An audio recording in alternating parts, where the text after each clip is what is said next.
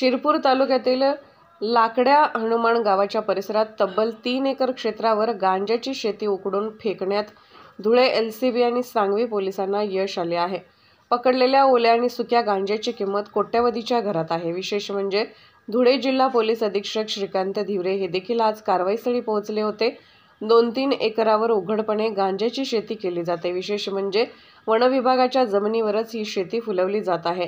आपल्या हद्दीत आपल्या जमिनीवर मोठ्या प्रमाणात कोट्यावधीच्या गांज्याची शेती होत असताना वनविभाग नेमकं काय करत होता असा प्रश्न पोलिसांच्या कारवाईच्या निमित्ताने उपस्थित होत आहे. वनविभागाने वेळोवेळी गस्त घालून आपल्या भागात अवैध काही होत असेल तर ते रोखण्याची व त्याची माहिती पोलीस यंत्रणेला देणे वनविभागाला बंधनकारक आहे. मात्र वन विभागाने तसे काही केले नाही.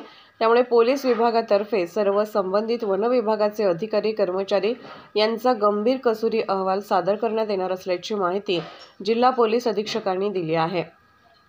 पोलिसांनी टाकलेल्या या छाप्यानंतर मुद्देमालाची मोजणी युद्धपातळीवर सुरू झाली असून संबंधितांवर गुन्हे दाखल करण्याची प्रक्रिया सुरू करण्यात आली आहे. सदरची कारवाई पोलीस अधीक्षक श्रीकांत धिवरे अपर पोलीस अधीक्षक किशोर काळे डीवायएसपी सचिन हिरे यांच्या मार्गदर्शनाखाली स्थानिक गुन्हे शाखेचे P I Dattatray Shinde P I Shriram Pawar यांच्या मार्गदर्शनाखाली करण्यात आली असल्याची माहिती पोलीस अधीक्षक श्रीकांत धिवरे यांनी यावेळी दिली. लाकडे लाकड्या हनुमानाच्या गावाच्या पुढे शिरपूर तालुक्यामध्ये स्थानिक गुन्हे शाखेच्या टीमला एक बा कॉन्फिडेन्शियल माहिती मिळाली होती की गांजाची लागवड मोठ्या प्रमाणात करण्यात आलेली आहे.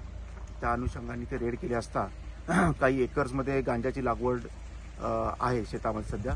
त्याच्यात कापणी करून त्याचं संपूर्ण आपण वजनमाप करून संबंधांवर आता गुन्हे दाखल करत आहोत.